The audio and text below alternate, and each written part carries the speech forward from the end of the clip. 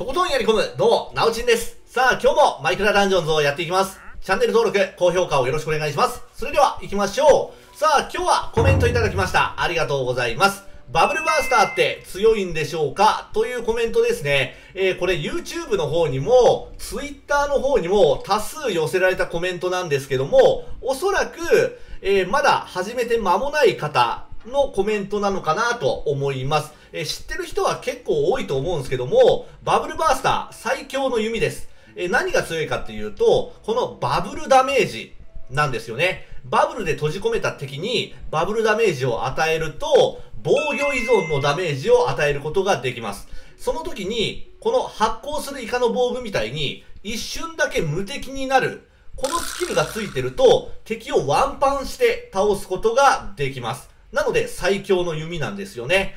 ということで、今日はちょっと知らない方も何人かいるみたいなので、バブルバースター、無敵バブルビルドですね。を使ってクリアしていきましょう。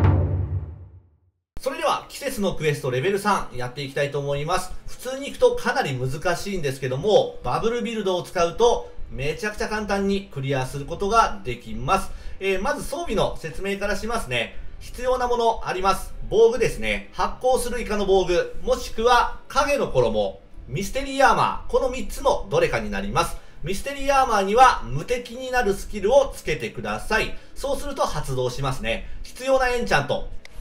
クールダウンです。クールダウンが1つ以上ついてれば、とりあえず使っていくことができます。まあ、他でもね、えー、つけてると便利なのはあるんですけども、とりあえずクールダウンがついてれば OK です。そして、バブルバースターですね。必要なエンチャは2つです。クールダウンショット、そしてアーティファクトチャージ、ロールチャージ、バーストボーストリング。この3つのうちのどれかですね、をつけてください。まあ、とりあえずその2つですね、をつけると大丈夫です。ちょっと厳選は難しいんですけどね、えー、狙ってみてください。で、アーティファクトですけども、絶対必要なのは羽です。えー、ぴょんぴょんして戦っていくので、羽は絶対必要。で、ブーツとマント、これを入れておくと移動が速くって、で、さらに天敵である変更が出てきた時に対応しやすくなるのでおすすめです。で、武器、えー、流れ込む魂がついてるやつをつけてるといいと思います。えー、俺は防具で回復をするので採掘者3、これをつけておりますね。では、早速行きましょう。キャプテンは全部倒しながら行きます。はい。まあまあ今の感じで敵を軽くワンパンして戦っていきます。モブダメージ50%増加ですね。でこれバブルに包まれない敵もいます。うん。まあそれはやってるとわかると思うんですけどもこいつは包まれないなっていうのがいるんですよ。でもただえーと、周りの敵をバブルに包むとそれにまとめて、えー、倒せること倒すことができますので、えー、戦い方を慣れていくと大丈夫ですね。おおラグったな、まあ、とりあえずえー、っとああ慣れは必要ということです。慣れてくればああもう誰がね、えー、バブルに入らないかとかそういうのが完璧に分かるようになりますのでやりやすくなると思います。最初のうちはねちょっと慣れが必要となりますね。えー、っともういないのか？こっちはいないですね。やべ。んでこのねバブル、えー、矢がね結構使います。なので矢の不足をね起こすことがたまにあるんですよ。なので、えー、段数にはちょっと注意してってください。うん。まあ、とにかく段数注意してあとはあれだね。えっ、ー、と変更の敵が来たらうまいこと避けていく。そうするだけで大丈夫です。普通に行くとね本当に難しいとこなんですけどバブルだともう全くね話になりません。うん。バブルで難しいところは変更クエストぐらいかな。やばい。やべ 危ねえ危ねえ。うんあとえっ、ー、と今みたいに狭いところでバブルに入ってくれないやつが多数出てきた時。なんかはちょっと対応しにくいですね。うん。まあまあ基本的にやっぱりこの装備が今のところ最強かなと思われます。うん。まあ簡単なんだよね。使使うのがものすごく。ただえっ、ー、とあれです。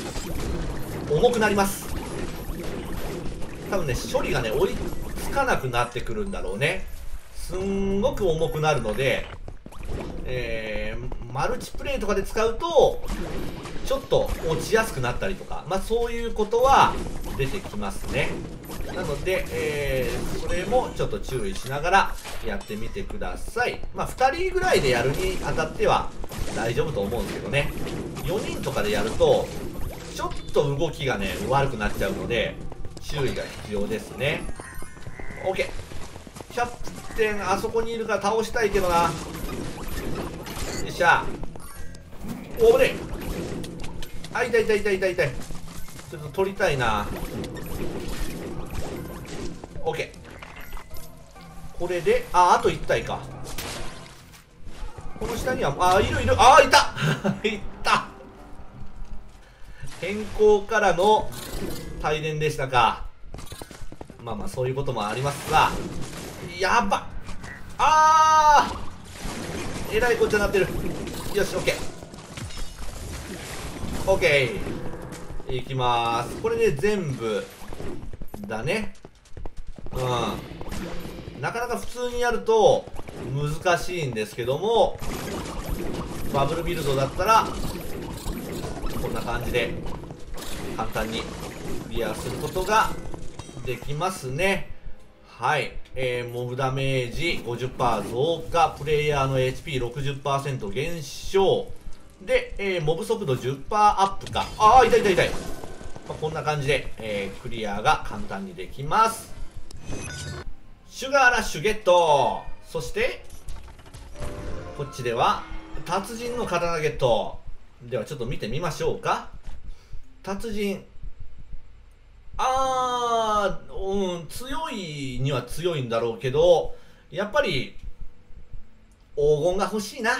うん。一応ね、リフレッシュ、エーリー、虚無、うん、もしくは爆発でもいいのかな。で使ってはいけるけども、できれば黄金で追い打ちが欲しいところかな。はい。